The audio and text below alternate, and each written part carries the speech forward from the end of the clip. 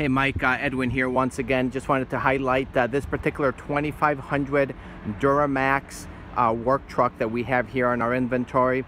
I, I do completely understand uh, black is not your uh, favorite color. I did locate a um, white uh, one for you. It's going to be exactly built like this one. But the reason I wanted to highlight this particular black one is it's actually a bonus tag vehicle, which actually gives you an extra additional 2500 of discounts, something that you will not get on that white one that I located. Bonus tag is a very exclusive uh, program that we got this month, and not every vehicle has it. God blessing, this particular 2500 Duramax does. It's got the trailering mirrors, as you can see here. Uh, gives you also the trailer brake control system. Just want to show you the dash here. It's got 62 miles. You do get the 7 inch screen compared to the 8 inch that you have on the 1500 I highlighted. Um, but you can see all your uh, buttons there, auxiliaries that you can actually add some extra features to. Like I had mentioned to you, these work trucks do come with the carpeting on the interior. Similar configuration on the front.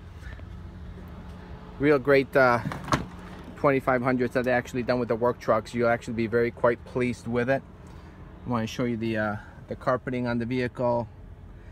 That's all the packaging uh, material, so of course that gets all cleaned up and stuff. Uh, this also does have the uh, standard box, six and a half foot box.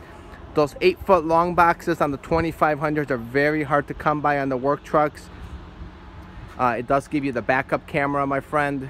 Similarly, the one that I've located for you does as well. But once again, this is what the uh, 2500 Duramax work truck will look like. Uh, and just love the opportunity to uh, answer any questions that you may have. I will send you the uh, information on both of the vehicles. And I just highlight that this particular 2500 here, again, it's that bonus tag. You do get an additional 2,500 off of this particular unit.